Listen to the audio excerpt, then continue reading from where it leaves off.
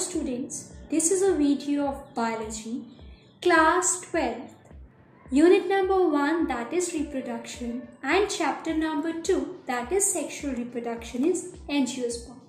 And the topic today we will discuss about the structure of mega gametophyte. Student, in my previous video, I have discussed with you about cross pollination and in today's video, I will discuss with you about the mega gametophyte, right? As we already did what is my megasporogenesis and everything, but today I will discuss with you a little bit of mega gametophyte so that you have an idea what is a mega gametophyte we have, okay, and how it will be formed. So let's begin with our topic that is megagametogenesis or megasporogenesis or the structure of female gametophyte. All of them have same meaning. Okay. So let's start. Basically, formation of female part in a flower is known as megasporogenesis, right? And megaspores are formed inside the megasporangium. What happened? Firstly, ovule. If you remember, we did ovule, the structure of ovule. Inside there is a new nucellus and the outermost uh, layers we called it as integuments if you have idea we did it right properly. So what happened? Ovule differentiated ovule will differentiate and form mmc which we called as megaspore mother cell which we called as megaspore mother cell students. Mmc megaspore mother cells undergoes meiosis. When mmc undergoes meiosis we are having four megaspores. We are having a four megaspores, right? In four megaspore, we called it as megaspore tetrad. What we call? We called it as megaspore tetrad, students.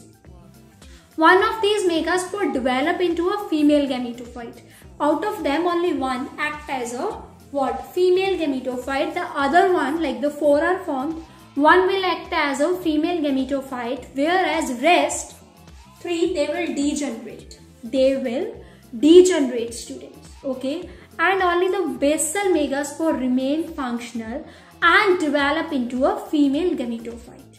Now we have to understand how this will happen okay? So in this process the formation of embryo sac from a single megaspore is termed as monosporic development. If you remember, we did it monosporic, bisporic, tetrasporic, right? So try to understand this development in this video. First of all, what happened? Nucleus undergo mitotic division. Nucleus of MMC which is functional, it undergo mitotic division. So two nucleate embryo sac is formed. After that, nucleus again undergo mitotic division. Again, then four, four nucleate embryo sac is formed. Again, nucleus again goes into the mitotic division. From 4, now we are having 8. From 4, now we are having the 8 one students, right? So, after that, cell wall formation is start and this is how the embryo sac will form. Try to understand MMC undergo meiosis and form 4 megaspore. Out of these 4 megaspore, only one become functional whereas rest of 3 will degenerate students. And the which one is functional, it undergo further division. Like firstly one nucleus go into the mitotic, it will produce 2 then 2 nucleus undergo mitotic, it will produce 4. Then 4 undergo meiosis and it will produce 8. This is the structure of embryo sac. Now if I will discuss the basic structure of embryo sac we have.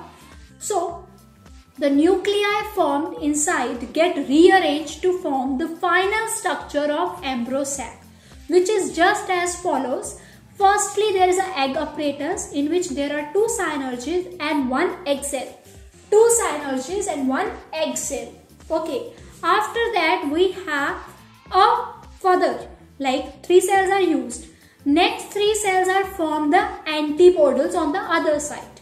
Next three makes antipodals on other side students, right? Whereas antipodal is located at a chalazal end and synergid and egg is situated at a micropylar end. Okay, then 3 and 3, 6 we use. We will make 8 if you remember. 6 we already used, 2 are left. 2 become in the center. 2 become in the center which will become the center cell or which we called as polar nuclei which we called as a polar nuclei students. So this is a structure of embryo sac and how it will be formed. Now embryo sac is basically a female gametophyte. It is a mega gametophyte in which both the male gamete comes. Because you have to understand this structure then you are able to understand the process of fertilization in the next video if you are able to understand this structure okay so this is all about this video however winding up this video however before winding up this video let's have a quick recap. That is what we have discussed in today's video. That is the structure of megagametophyte like firstly students what happened? Mmc which means mega microspore mother cell megaspore mother cell. It will undergo meiosis and form four haploid megaspore. Out of these four, only one become functional and the rest three become degenerate. And the functional megaspore students, it further undergoes mitotic division. First mitotic division form 2, next mitotic division form 4 and next is form 8.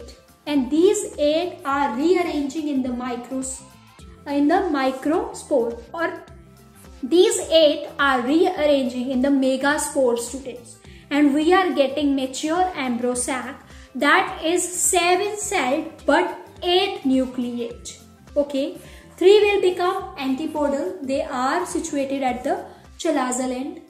Rest 3 out of like rest 3 will on the micropylar end. 1 is a egg and 2 are synergid and the rest two which comes in the center they become the polar nuclei.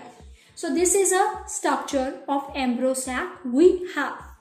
Still if you have any of the confusion in your mind, any doubt in your mind, just jot down and write down in the comment box so that I will help you.